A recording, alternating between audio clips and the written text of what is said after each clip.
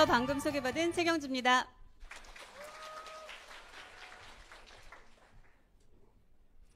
여러분 어떠신가요? 방금 전에 너무도 좋은 제품, 그리고 좋은 회사, 무엇보다 공정한 보상 플랜에 대해서 들어보셨는데 어떤 결정, 결정을 하셨나요? 이 일이 정말 내 일이다. 아니면 저렇게 좋은데 내가 정말 할 수 있을까? 이런 의문을 가지셨나요? 저도 여러분처럼 이 자리에서 이렇게 들었던 적이 있었겠죠. 저는 그때 이 일이 정말 내가 할 수 있는 일인가?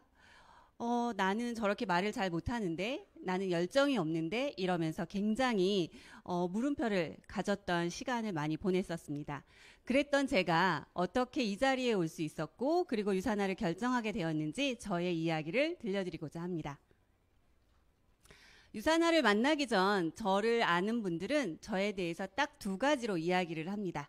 그 첫 번째는 걸어 다니는 종합병원이었어요. 그만큼 제가 건강이 안 좋았다는 거겠죠. 네, 저는 그럴 수밖에 없었던 게 태어날 때 선천성 심장병을 가지고 태어났습니다. 그랬기 때문에 심장이 안 좋으니까 다른 기관들도 당연히 안 좋았겠죠. 네, 그래서 저희 부모님은 저를 데리고 전국에 좋다는 곳이 있으면 다 데리고 다니셨어요. 물론 수술을 통해서 심장은 좋아졌지만 저의 건강은 그닥 좋아지지 않았습니다. 그러다 보니 저의 일생, 일상생활이 그렇게 좋은 편은 아니었고 아무리 좋은 걸 먹어도 그때 잠깐 영원히 제 건강이 돌아오지 않고 있었어요. 그래도 성장을 했고 남편을 만나게 됩니다. 사랑하는 남자를 만났는데 저희 친정 아버지의 결혼 조건은 딱 한 가지였어요. 아이를 갖지 않는 거였습니다. 왜 그랬냐면 저를 수술해 주셨던 주치 선생님께서 만약에 출산을 하게 되면 저한테 무리가 갈 수 있다라고 말씀을 해주셨어요. 그렇기 때문에 좀 그 부분에 있어서 염려를 하셨고 권하지 않으셨습니다. 당연히 친정 아버지 입장에서는 딸이 임신을 해서 무리가 가는 걸 원치 않으셨겠죠. 저희 남편이 저를 너무 사랑했나 봐요. 어, 당연히 저는 둘이 살아도 괜찮습니다. 라고 얘기를 하면서 결혼 승낙을 받습니다. 그렇게 남편과 결혼을 했는데 저는 모성애가 제가 그렇게 있는 사람인지 몰랐어요. 아이가 너무 갖고 싶은 거예요. 직장을 갔다가 퇴근해서 집에 돌아오는 길에 아이를 얻고 있는 어, 여자분만 봐도 혼자 울면서 집에 왔어요. 그러다 보니까 저를 보면서 남편은 괜찮다. 우리 둘이 충분히 잘 살 수 있다. 이렇게 이야기를 해줬지만 저는 그게 안 되더라고요. 그래서 저는 결정합니다. 남편 몰래 산부인과를 다녀요. 네. 그러면서 어렵게 어렵게 아이를 갖는데요. 음, 축복받아야 되는 아이임에도 불구하고 모두가 걱정하고 염려하는 속에서 저희는 아, 저는 아이를 출산합니다. 다행히도 아이는 건강하게 태어나줬고 저도 잘 버텨냈어요. 그래서 첫 아이를 낳았는데 시간이 흐르니까 이건 웬걸요?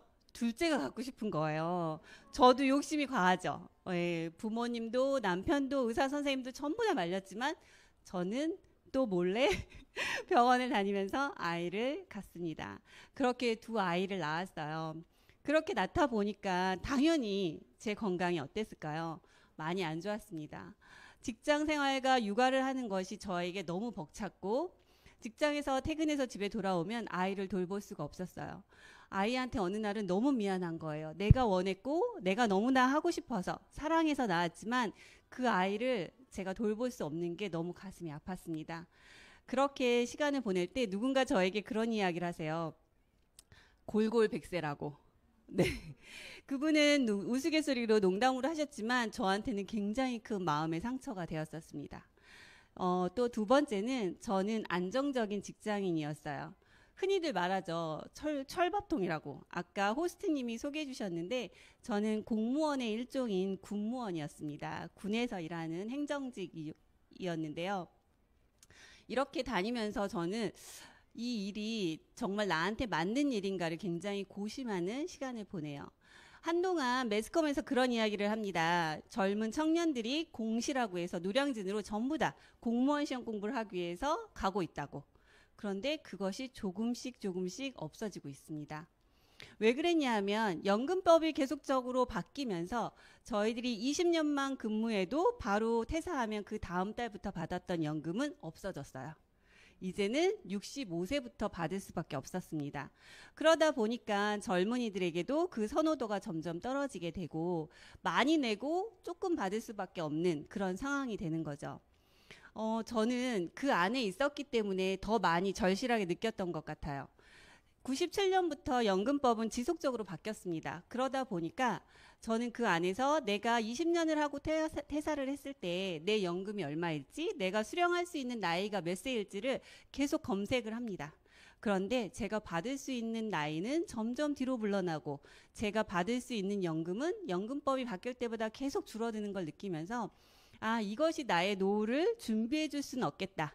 나의 노후에 내가 편안하게 살려고 이 직장을 다녔던 건데 이건 아닌 것 같다라는 생각을 하게 됩니다.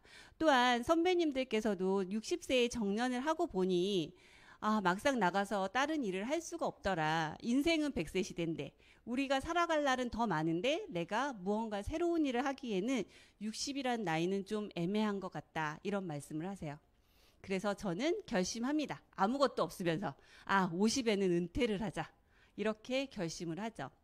막상 은퇴를 결심을 하고 나니까 어떨까요? 뭔가 준비해야 되겠다라는 조급함이 생기기 시작했어요. 그래서 저도 자격증에 도전하기 시작을 합니다. 그래서 보육교사라든지 사회복지사라든지 여러 가지 자격증, 공인이 돼 있는 자격증뿐만 아니라 민간 자격증 여러 가지 자격증을 따기 시작을 해요. 그런데 문제는 여기에 있었습니다. 자격증을 따면서 보니까 현실의 벽이 너무 높았던 거예요. 제가 50에 나가서 다시 초임으로 입사를 해서 이 월급을 받고 다닐 수 있을까? 라는 겁이 덜컥 나더라고요. 아, 내가 여지까지도 이렇게 아침 9시, 저녁 6시까지 다녔었는데, 이렇게 작은 월급으로 내가 또 이 일을 정말 좋아하는 일도 아니고 사명감이 있는 일도 아닌데 내가 이렇게 할 수 있을까라는 고민을 하기 시작을 하니까 아, 그냥 60세까지 정년을 해야 될까라는 생각을 점점 하게 되더라고요. 어, 이렇게 제가 건강과 그리고 미래를 위해서 고민하고 있을 때 친구로부터 유산화 제품을 소개받습니다. 저랑 너무 친한 친구인데요. 어느 날 저에게 유산화 제품을 소개해줘요. 내가 이거 먹었는데 네가 제일 먼저 생각이 났어. 너무 고마웠습니다. 저는 늘 건강에 니즈가 있었던 사람이고 건강에 좋다라는 건 다 찾아다니 면서 먹었던 사람이잖아요. 유사나 제품이 좋을 거라고 해서 사진 않았어요. 친구의 그 말 한마디가 너무 고마워서 유사나 제품을 구매합니다. 그런데 제가 잘 먹었을까요? 아니요. 그냥 집에 갖다가 쌓아놨어요. 왜냐하면 여러분들 혹시 유사나 제품 auto로 드시고 계신가요? 네. 저는 한약을 auto로 받아먹고 있었어요. 한 제가 끝나면 한 제가 오고 한 제가 끝나면 또 한 제가 오고 그것이 오히려 저의 건강을 나쁘게 한다 는 것을 나중에 알았는데 그렇게 한약이라든지 건강 보조식품이 저희 집에 너무너무 차고 넘쳤기 때문에 친구로부터 구매한 유산화 제품을 먹지 않았습니다. 이게 아까웠나 봐요. 저희 남편이 생전 먹지도 않던 유산화 제품을 먹더라고요. 어, 그래서 아, 그냥 이제는 필요한 나이인가 보다라고 생각을 했어요. 근데 남편이 저에게 내가 이거 먹었는데 너무 괜찮은 것 같아. 너 한번 먹어보지 그러는 거예요. 그래서 제가 어, 남편은 평상시에 제품이라는 걸 먹어보지 않았던 사람인데 뭐가 좋았을까라는 생각을 하면서 제가 먹어봅니다. 그렇게 몇 달을 먹고 났는데 뭔가 이상한 거예요. 저는 365일 중에 300일을 항생제로 살았습니다. 왜냐하면 계절성 면역계 질환은 다 앓고 있었고 늘 감기를 달고 살았기 때문에 그냥 병원 약을 친구처럼 먹고 살았던 거죠. 그런데 어느 날 제가 병원 약을 먹지 않고 있었고 감기에 걸리지 않고 있었던 거예요. 그걸 가족들도 알게 되더라고요. 그렇게 유산화를 먹으면서 저의 건강은 그렇게 오랜 세월 아프고 힘들었던 침대와 친구였던 제가 바뀌기 시작을 하더라고요. 심지어는 저희 아들이 저에게 엄마, 엄마가 여행 가서 같이 놀아주니까 너무 좋아요 라고 얘기를 할 정도로 그렇게 제 몸이 많이 회복이 되었습니다. 그런다고 제가 유산화를 일로 선택하지는 않았어요. 왜냐하면 저는 네트워크 마케팅에 대한 부정적인 시각은 없었지만 어, 앞서 보셨던 분들 너무 말씀 잘하시잖아요. 어, 이렇게 말 잘하는 사람만 하는 건가? 그리고 저는 열정이 막 그렇게 넘치는 사람은 아니어서 나는 열정도 없고, 음, 난 에너지도 없는데 내가 저 일을 할 수 있을까라는 고민을 계속 했습니다. 그때 어, 유산화를 소개시켜줬던 친구가 저에게 그런 이야기를 해요. 너랑 같이 하면 친구랑 같이 하면 너무 재밌을 것 같다. 저는 또 그 말에 흔들립니다. 왜냐하면 그동안의 직장 생활을 하면서 직장인들이 모두 다 느끼셨겠지만 부모님에 의해서 저는 그 직업을 선택을 했고 안정적인 직장을 다녔지 제가 그 일이 좋아서 그 일이 하면서 내가 너무 행복해서 다녔던 직업은 아니었어요. 그러다 보니까 뭔가 친구랑 함께 즐겁고 재밌게 할 수 있는 일이라면 괜찮을 수도 있겠다. 그런 생각이 들었었고요. 또 무엇보다도 시간적인 자유를 너무 원했어요. 네.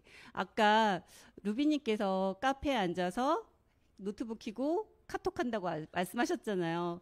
저는 그런 삶이 너무 부러웠습니다. 사실. 백화점에 평일날 가서 물건 사고 싶은 거. 이런 게 저의 로망이기도 했어요. 그래서, 아, 그래. 유산나 한번 해볼까? 이렇게 결심을 하고요. 저는 정말 꿈에 그리던 50에 퇴사를 합니다. 용감했어요. 네. 그런데 제가 정말 잘했을까요? 아니에요. 잘 못했어요. 어, 왜 난 안 되지? 내일이 아닌가? 어, 나는 왜 꿈이 없지? 이런 고민들을 계속하게 됩니다. 꿈. 이곳에 오시면 가장 많이 듣는 이야기 중에 하나가 꿈이죠. 가슴 설레이는 꿈. 저는 사실 가슴 설레이는 꿈이 없었어요. 어, 직장 생활을 하시는 분들은 알 거예요. 뭔가 목표를 가지고 계획을 세울 때 내가 가지고 있는 경제적인 상황, 그리고 내가 할 수 있는 역량 안에서 꿈을 갖다 보니까 뭔가 그 일들은 현실적이었던 거지 그 이상의 것은 아니었습니다. 또 그 이상의 것을 생각하는 건 왠지 욕심 같았기 때문에 저는 그렇게 할 수가 없었어요. 그렇게 발만 동동 구르고 있을 때 스포너님 저에게 그런 이야기를 하셨어요. 잘하는 걸 하면 잘하는 것에 집중하면 좋겠다. 잘하는 거? 내가 잘하는 거 뭐지? 고민했습니다. 그러면서 그래 그냥 내가 잘하는 거 하자. 유산화는 내 직업이다. 그동안도 직장 생활을 오래 했고 내가 무언가를 하고, 하고자 한다면 이걸 직업으로 생각하자. 내가 그러려고 나의 미래를 위해서 이렇게 나온 게 아닌가라는 생각을 합니다. 직장인들 어때요? 비가 오나 눈이 오나 내 기분이 좋거나 나쁘거나 열심히 그냥 묵묵히 다니시죠. 안 그러신가요? 네, 그래서 저는 유산화를 내 직업으로 생각하기로 했어요. 그리고 멀리 있는 꿈보다는 바로 내 눈앞에 있는, 있는 일들부터 해결하자. 그 일이 무엇, 무엇이었냐면 바로 연간 계획을 짜는 거였어요. 회사는 늘 루틴이 같습니다. 하다 보니까 전반기, 후반기, 연간에 걸쳐서 회사가 계획하는 것들은 이미 계속적으로 반복이 되고 있었어요. 그래서 그걸 저희가 성장 로드맵이다 해서 1월부터 12월까지 계획표를 짜고요. 어, 11월 달에는 모든 파트너님들, 제 하부에 있는 모든 분들을 제가 1대1로 미팅을 합니다. 그러면서 한 해 동안에 받았던 어, 인컴을 적고요. 그리고 내년도에 내가 목표하는 인컴을 적습니다. 저희들끼리는 뭐라고 얘기를 하냐면 연봉 협상 기간이라고 이야기를 해요. 네. 그래서 너무 멀리 있는 목표가 왠지 내게 아닌 것 같아서 안 될 것 같을 때 우리 조금씩 조금씩 성장해 보자. 라고 하면서 연간 목표를 적습니다. 그리고 각자의 그 목표를 회사가 계획하고 있는 그 목표치 안에 계획 안에 다 같이 대입을 하는 거죠. 그러면서 저희는 성장을 하는데 요때 이것과 맞물려서 할 수 있는 게 무엇이었냐면 프로모션이었어요. 음, 아까도 설명을 해드렸는데 제주도 프로모션 벌써 2023년도 계획이 본사에서 오늘 나왔습니다. 저희는 21년, 22년에 걸쳐서 제주도 프로모션에 저와 파트너들은 총 29명을 달성해서 요번엔 회사에서 보내준다고 하더라고요. 그래서 굉장히 기대하면서 기다리고 있습니다. 또 다이어트 챌린지였어요. 어, 코로나로 확진자들이 나오면서 모두가 다이어트에 열광을 했는데요. 저희 팀도 그랬습니다. 그래서 매 기수마다 다이어트 챌린지의 단체전에서 입상을 하고요. 1위도 했어요. 그리고 20명이 참여할 수 있는 그룹전에도 참가하면서 3위를 달성해서 그 상금으로 이렇게 같이 프로필 사진을 찍기도 했습니다. 사실은 어, 신규를 유입할 때 이 다이어트 챌린지가 가장 유력하고 좋았던 프로모션이었던 것 같습니다. 그리고 우리가 성장할 때 가장 큰 모멘텀이 될 수 있다고 하는 글로벌 컨벤션입니다. 올해는 유산화가 30주년으로 미국에서 개최가 되는데요. 아까 우리 루비님께서도 말씀하셨지만 정말 어마어마한 것이 기다리고 있습니다. 혹시 내가 유산화를 알아봐야 되겠다. 아니면 유산화를 하기로 결정했다 하시는 분들은 오늘 이 자리를 나가실 때 꼭 초대하신 분에게 이 글로벌 컨벤션에 대해서 문의하시고 함께 미국행 비행기를 타셨으면 좋겠습니다. 내 손 안의 비즈니스. 오직 유사나 유니스타즈 그룹 안에만 있는 유맵 어플입니다. 우리가 코로나 시기에 서로 만날 수 없었고 대면할 수 없었지만 이 어플이 있었기 때문에 아까도 우리가 코로나 시기 유사나가 성장할 수 있었던 것 같습니다. 저희는 이 유맵이 2.0 버전이 새로 나올 때 베타 테스터 팀들을 모집했는데 그때도 참여하면서 우수 베타 어, 우수 팀으로 선정이 되어서 상금을 받기도 했습니다. 어, 우리가 무슨 일을 할때 그룹과 회사의 일에 집중한다면 분명히 성장할 수 있는 것 같습니다. 사실 처음 시작할 때 먼 것을 바라보거나 큰 꿈을 꾸진 않았습니다. 이렇게 그룹과 회사에서 진행하는 모든 프로모션, 바로 내 눈앞에 있는 것이 현실로 되어질 때, 그리고 그 안에서 한 걸음 한 걸음 걸어갈 때 저희는 성장할 수 있었던 것 같습니다.